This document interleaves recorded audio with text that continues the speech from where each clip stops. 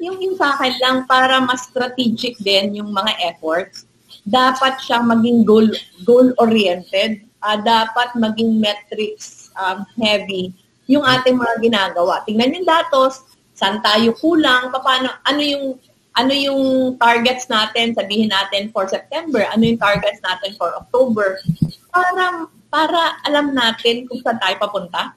And nagkakaroon tayo ng periodic assessment kung palayo ba tayo o palapit ba tayo dun sa ating metrics.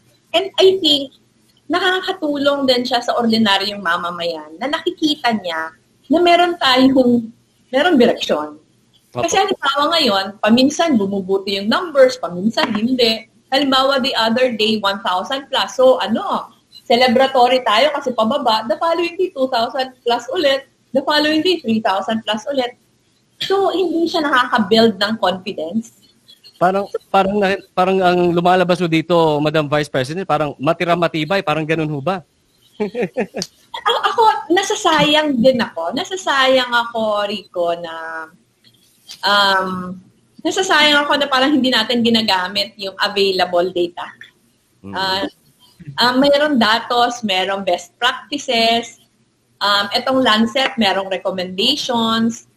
So, so yung sa akin, sana ganun. Um, ako, ako naman, dati kasi sumusulat lang ako sa agencies, pero na na aakusahan tayo na lahat lang tayo po na wala tayong wala tayong uh, contributions So hmm. ako, I made it a point na um, parang, parang as seldom naman ito, parang I, I think I just made two public announcements to two public addresses to make recommendations. Siguro, siguro uh, in the next few days or even today, I can do another public announcement to make recommendations.